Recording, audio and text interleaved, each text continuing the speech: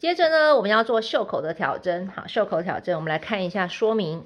说明告诉你呢，这个全部的袖圈一共要挑出九十针，要挑出九十针。然后它告诉你呢，是用素色的线，然后两条线一起织。然后另外呢，它告诉你的是，你要织差不多一公分，大概是三段。好，三段，三段的意思就是啊，三段的意思就是，好，袖口看到没？挑针是第一段，哈，挑针是第一段，然后上针，然后袖口的最终段是下针。那下针完之后，通常我会去做上针逃收，就结束了。好，九十针要怎么挑？问题来了，你的这个段数有七十二段，对不对？段数有七十二段，段数有七十二段呢，你要挑出九十针，意思就是半片是多少针？九十除以二等于四十五针，等于说这个半片哦，这里要挑出四十五，这里要挑出四十五针。那这里要挑出四十五针，在七十二段之内要怎么操作呢？老师教你一个最简单的计算的方法，你把段数七十二段去除以三。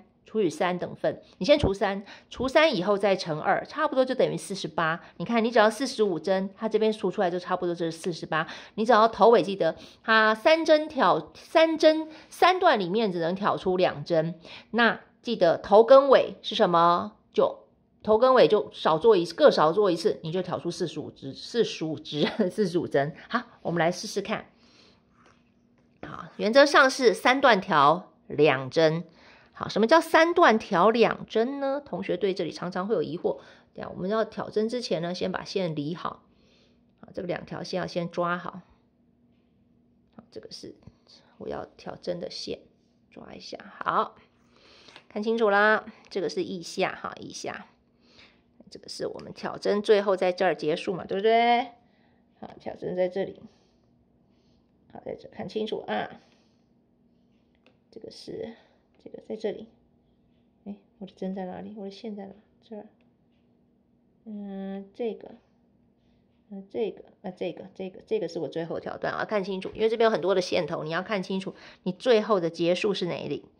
最后的结束看到没？在这里，因为我们记号圈拔掉了嘛，从这儿开始，这里是你的缝合的最后一针，那你也从这一段开始，然后呢，就记得三段只能挑出两针哦，所以。每一段都先挑一针，一针，隔壁段再挑一次，两针，然后呢，空一段不挑的下一段连续挑两针，一、二，空一段不挑，再连续挑两针。懂了吗？这就叫做三段挑两针。好，连续挑两针，然后空一段。好，空一段不挑，再来。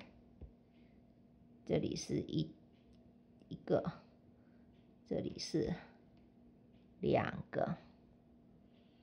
再空一段不挑的下一个，一个，两个啊，记得啊，连挑两个，空一段。连挑两个，空一段，连挑两针，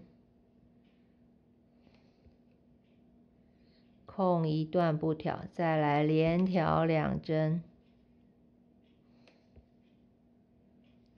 空一段不挑，再来连挑两针，一针，两针。空一段不挑，再来一个，两个，空一段不挑，再来一个，两个，这样可以吗？空一个不挑，好，我们这边就先赶快跳过，我们把这一圈都挑起来，挑起来之后呢，然后记得你要织几行，再织两行，然后再来一行套收，我们这个袖口就做完了。两边的袖口做完之后，下一堂课我们要来教的是，呃，领口的挑针。所以呢，下一节课你会看到的是袖圈的最后一针的结束与领口挑针的开始。好，拜拜。